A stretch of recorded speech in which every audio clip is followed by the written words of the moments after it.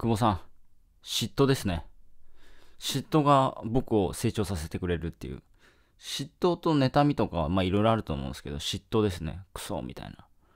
うーん。まあ僕常にやっぱ嫉妬してますよね。やっぱ、なんすかね、昔に比べると、やっぱ SNS の発達によって、まあ YouTube だったりとか、まあいろんな媒体で、まああの自慢合戦じゃないですか。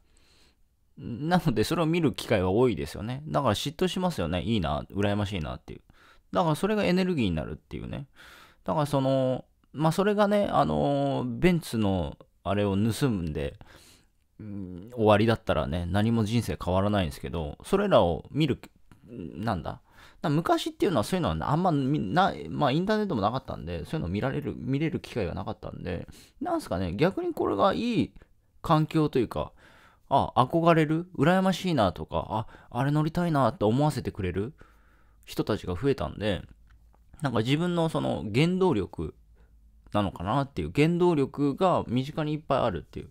だそれをね、エネルギーに変えられるか変えられないかで結構変わると思いますよ。で、今は結構そのブイブイ稼いでる子なんかは、まあ、ほとんどそれを原動力にしてたんじゃないかなって。だって Twitter とか SNS とか TikTok とか見れば見るほど、なんか、なんか成功してる人たちはいろんな自慢するわけじゃないですか。悔しいですよね。こうなりた、悔しいというか、なんか、そうなりたいなと思ったりとかするだろうし。うん。まあ僕も車に関してはずっと家がね、軽自動車だったんで、なんかいつかそういう車乗りたいなと思ってましたもん。思いますよ。ずっと軽自動車なんだもん、家が。貧乏で。だから、ベンツ見るたびに思いますよね。嫉妬妬み。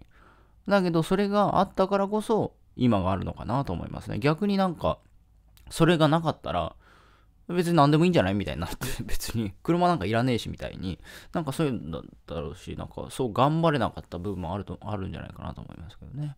いってらっしゃい。